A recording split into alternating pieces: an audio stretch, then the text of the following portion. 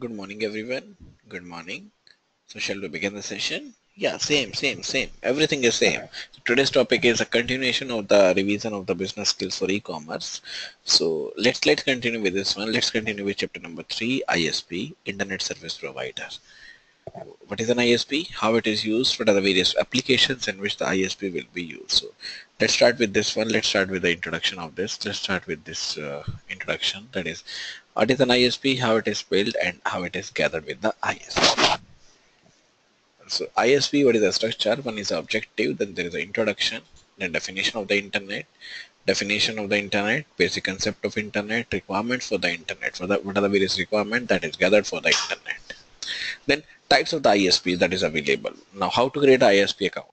Then what is an ISP, how it is used, what are the various types of the internet service provider, then types of the ISP accounts, then selection of the ISP. Selection of the ISP means what is the I mean selection that is used for the ISP, how to select the data, how to behave with the data, how to how to, how to get the data with the ISPs so uh, then ISP in the India how how to use the ISP in the India then there is a summary then keyword. After the keyword there is a self-assessment questions what are the various self-assessment question in the, this keywords then there is a suggested readings what are the various readings that is used for the suggested reading.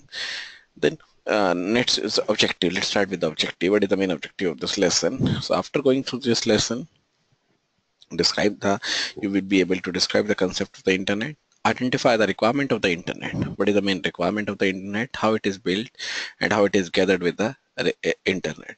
Then illustrates the different types of the ISPs that means what are the various different types of the ISP that is used for the various scenarios by which it is used with the ISP then evaluate the factors for the ISP selection. What are the various factors that we use for the ISP selection whether we are using the MTNL whether we are using the BSNL Vodafone and so like Jio so how, how, how to use, what are the various factors for the ISP selection. Then describe different types of internet account. What are the various different types of internet account that is available.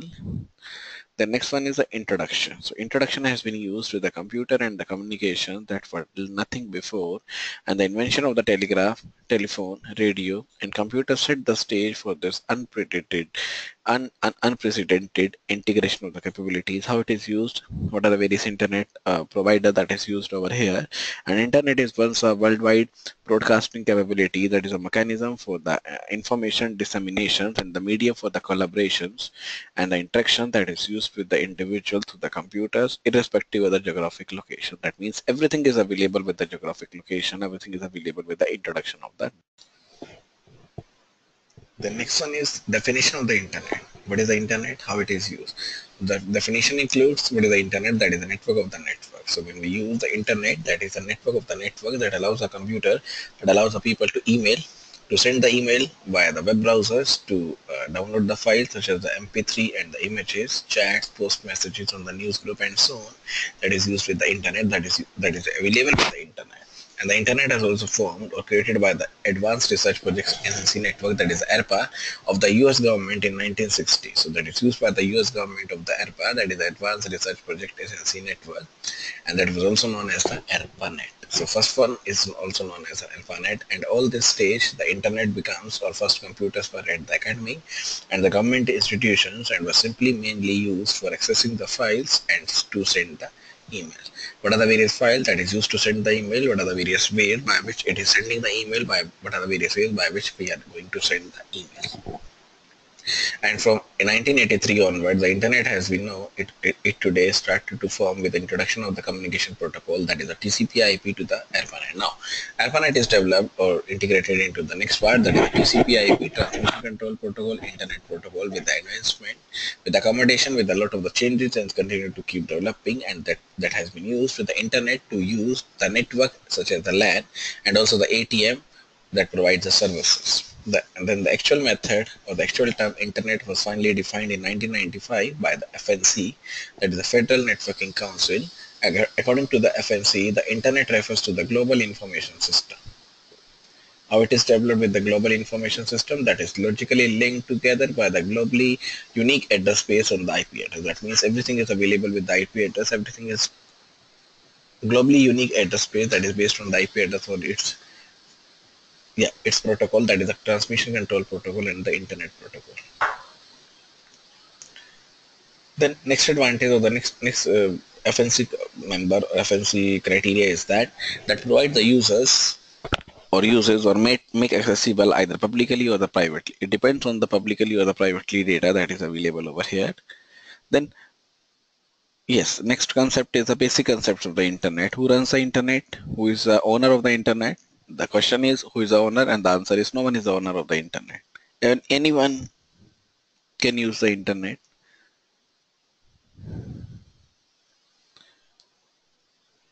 the names and the addresses. The names are uh, sometimes known as a host, computer, server, client, and so on. Addresses are the IP address. That is also divided into four, two parts, IPv4 and the IPv6. That is represented with the dots. Then domain name system, that means we are assigning the names to the computers. That is a domain name system with the location. For example, if I'm talking about the website, that is a mercury.co.in. So this is the domain name that is a co.in. Yes, very good. Education website has a edu that is educational, COM government, sorry, COM commercial, GOV government, then MIL military, ORG organizations. Co means corporation. So organization first have to register for their domain name that selecting one of the top level specifications that describe its best and preceding it with the recognizable versions of the name. For example, abc.com is also the domain. And once you understand how to use that, how to use a naming convention, how to use a naming system, you can remember the names more easily and also tell the things about a computer, what the organization will do. And names do not have also indicates the geographical locations.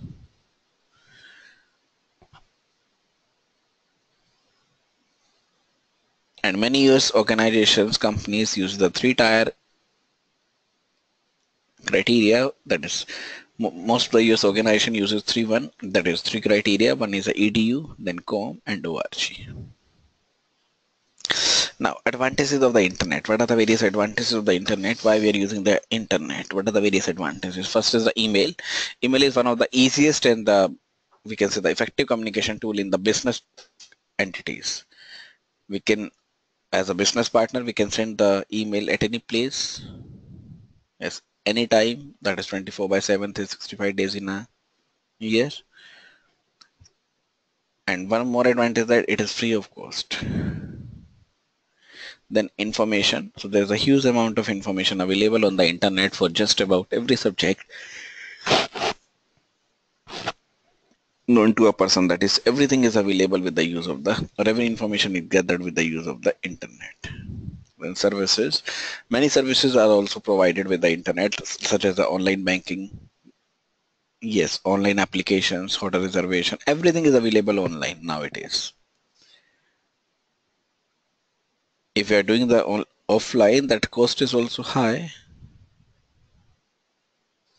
The next one is buy or sell the product so internet is very effective way to buy or sell the products all over the world then communities of all types have uh, sprung over the internet. It is a great way to meet up with the people of the similar interest and discuss the common issues. Then a leading edge image. So that presents your company or the organization as a leading edge that shows your computer or the customers and prospective consumer that you are financially strong technology savvy and ready for the 21st century. And and more and more advisor, advisors on the telephone radio magazine and the newspapers and including a web address.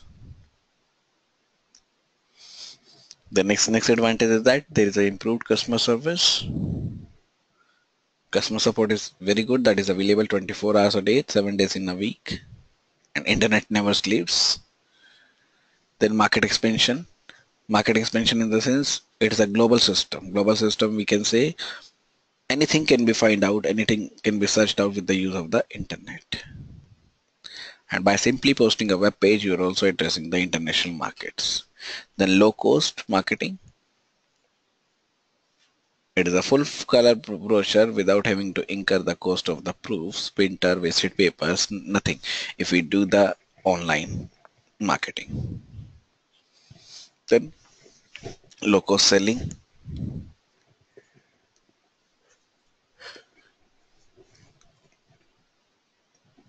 Then lower communication cost there's no communication cost then value added marketing that is the same then requirements of the internet. What are the next topic is what are the various requirements of the internet requirements for the internet? Again divided into two parts hardware requirement and the software requirement. Hardware means what are the various physical material that is used? Then software what are the various software that is the inbuilt software? For example adobe photo adobe photoshop adobe reader MS Word, Excel, very good. MS Office, that is required. That is software. Hardware means CPU, keyboard, mouse, that is the hardware requirement. So first one is the hardware requirements. Users can uh, use any of the PC models coming today, that is Intel Celeron, Intel P1, P2, P3, Intel P14, AMD K6, Cyrix MII, that is over 350 megahertz and also gives a good performance over the data. And your computer should have at least 16 MB RAM to have a good navigation on the net. And the HDD card should have at least 4 MB RAM. This helps in watching the graphics movies on the internet very effectively very easily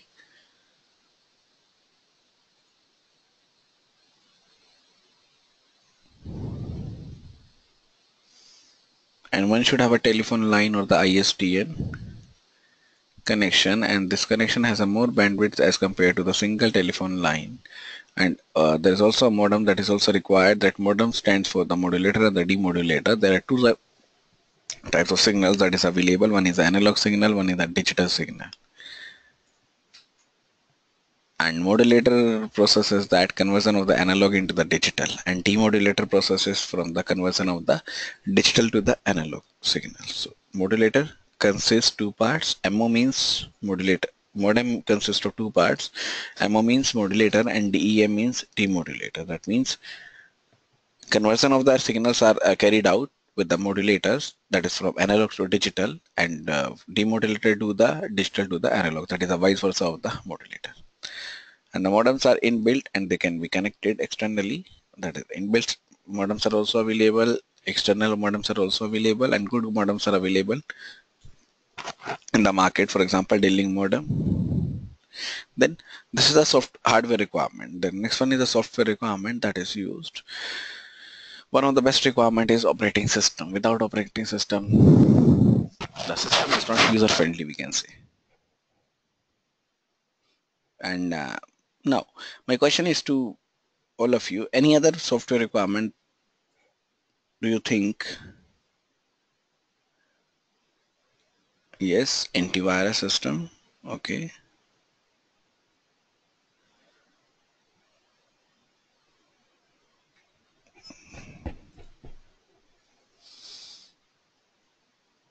Yes, firewall that is the same Acrobat Reader that we have discussed. Whatever the tools whatever the software that you need. For example office you need ms office adobe photoshop if you need for this one web messenger ms outlook whatever you need for this.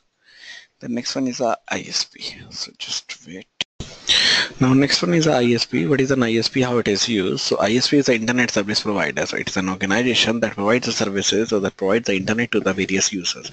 So ISP is a company that provides the internet access to the users, to other companies or the individuals. And ISP also maintains connection to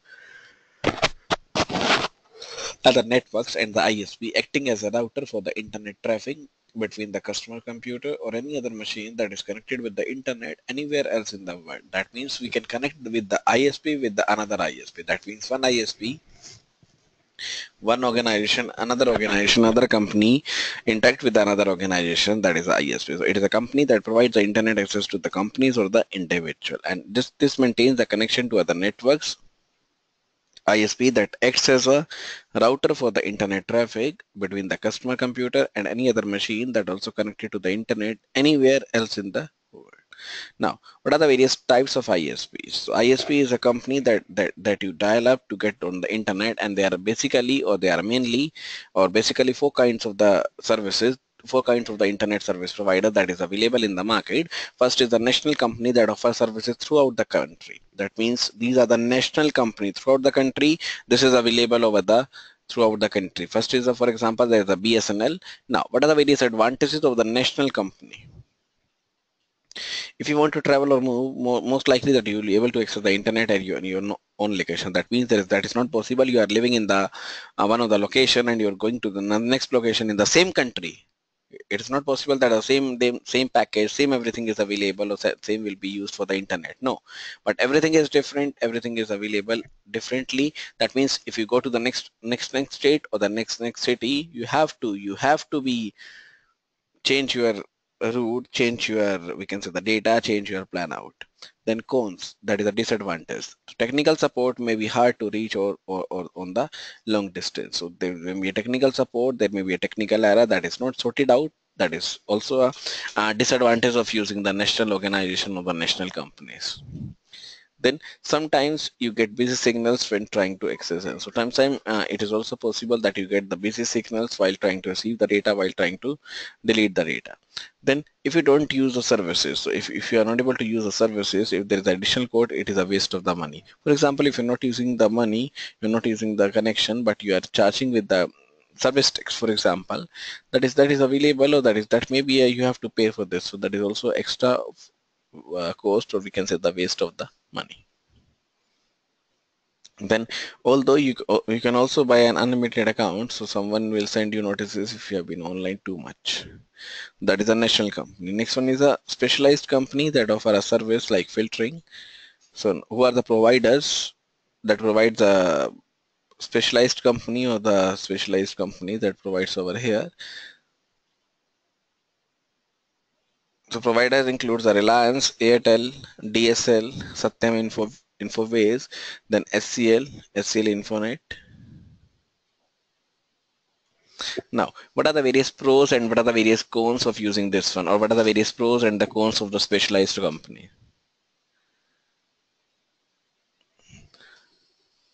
So you don't have to install the additional software to get the pornography out of this computer. You have not you will not have to update your uh, filtering software then uh, what are the various limitations that? Roaming facility of this account is not available and the technical support may be limited. That is limited not saying that it is not available at all the organ everywhere in the uh, we can say the country but it is maybe a limited. This is a specialized companies that offer a service like filtering. One is the national companies. Then third one is a local ISP that is a small company that offer the internet service to a small area. One is the providers that check in the telephone directory or the yellow pages under the internet services under the internet data.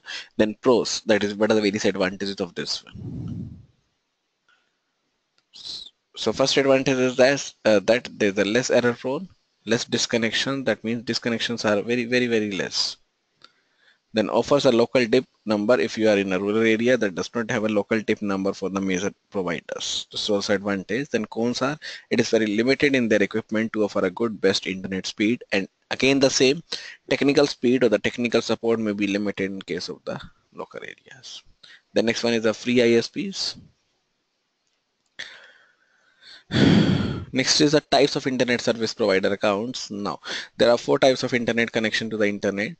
For example, dial-up connection, ISDN. Now, can anyone tell me what is the full form of ISDN? Because this is the revision, not the exact, we can say the module. So you have, you are supposed to, yes, that is okay. I means integrated services, then DN. Anyone else?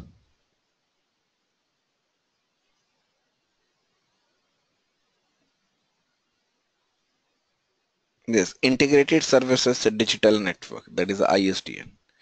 So one is a dial-up, one is a ISDN connection, then leased line, then cable modem, broadband, DSL. Now what is the full form of DSL? This is digital subscriber line. And the most important type of internet is a broadband connection that is very much easily available and it is also economical, that is cheaper in rate. First one is a dial-up that is uses or that uses the modem to use the telephone lines before you get to the internet. For this type of connection, you require a computer with a configuration with the Pentium 4 or the above. Then modem. These days we use a modem of the speed up to 56 kbps that is used with the FTP software also and there are three major ways by which you can get linked to the internet using a dial-up connection that namely includes the host terminal connection, individual computers, dial-up or the demand through the internet or the LAN. So one is a terminal emulation. Now in case of the host computers or the connection, a PC is connected to some internet via the modem and the terminal emulation program is going to run that is used with the VT100 computer. Now this type of connection offers different types of account that depending on the work for the ISP that is a local dial, use of the public data network and the restricted access.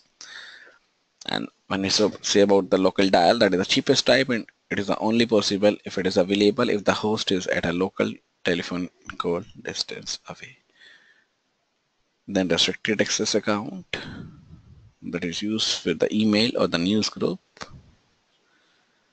then individual computers. Here your computer can work on an internet host that is direct downloading of the files and the mails can be done when connected to the internet. That, that link is very little more, more costly than the host terminal connection as you have to pay a monthly fees for this one.